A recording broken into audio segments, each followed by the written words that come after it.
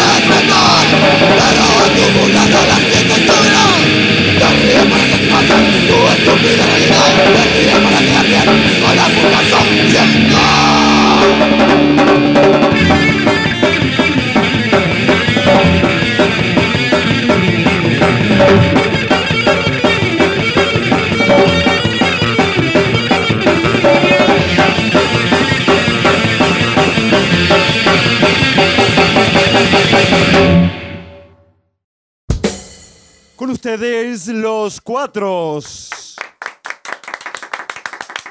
Tengo el honor de presentar a Siciliano, para quien pido un fuerte aplauso siciliano dueño de una estética que apunta al infinito, poeta, filósofo, niño prodigio, es creador de sendos artículos y ensayos que vieron la luz en importantes publicaciones. Entre grandes títulos se encuentran El sujeto no importa, apología al predicado, Yo puedo solo, autobiografía de un masturbador compulsivo. Bien, tengo el honor de presentar a Espada para quien pido un fuerte aplauso. Como les decía, Espada es un escritor de estilo erudito y de variados recursos, quien fuera acusado de rebelde por su libro Soy rebelde porque el mundo me hizo así. Personalidad de pensamiento sensible, preocupado por la dura realidad de su tierra, limpia todos los días la mugre de su pieza. Y bueno, dentro de su nutrida obra resaltan los siguientes títulos. Unidos y dominados, relación entre dos siameses y su madre castradora. Cada vez que respiras, crónica de un asmático. Y una novela, ah, esta la conozco, ¿eh? conoces? Sí, impresionante, para chuparse las hojas, en donde combina el dialecto criollo con el yankee, titulada ¿Qué querés que le haga si me refalé Billy Show? Bueno, tengo aquí a mi lado a Torrenti para quien pide un fuerte aplauso. Hombre del gran linaje intelectual, domina todos los estilos. Modernista, afrancesado, pecho, perrito, hace la plancha. Entre sus libros, que resultan de forzosa cabecera, podemos citar Llevo la tierra en mi sangre, relato de un hombre que pasa cinco años sin bañarse. Si pudiera escribir tu nombre, carta de un analfabeto a su amada. Tiene también Torrenti un libro de poemas para incentivar a paralíticos titulado El que no salta es un aburrido. Y finalmente escribió un libro impresionante titulado Las masas explotadas, que cuenta el incendio de una panadería. Bueno, tengo el honor de presentar a Concetti, para quien pido un nuevo y fuerte aplauso. Concetti, personalidad subyugante, amante de los libros. Concetti no los lee para no estropearlos. Dueño de un estilo propio, realmente demoledor. Polifacético, polifacético como pocos. Es injustamente atacado por los movimientos feministas cuando edita su imponente obra ¡Vayan a cocinar! ¡Argolludas! la boca! Eh, conocedor, conocedor de las necesidades del prójimo, abre una panadería la semana pasada y anuncia que hay importantes descuentos por cantidad e invita a la vez a quien quiera acercarse para probar las exquisiteces con las que así se podrán encontrar. ¿Pero qué es esto? ¿Cómo vas a hacer publicidad de una panadería en un currículum? Es de cuarta. El trigal de oro, amasamos para ustedes, el eslogan que usamos para vender. Sí, sí, bueno, bien, bien. va. ¿Se puede pedir por teléfono? No, querido, sí, sí, tenemos el logo, en otro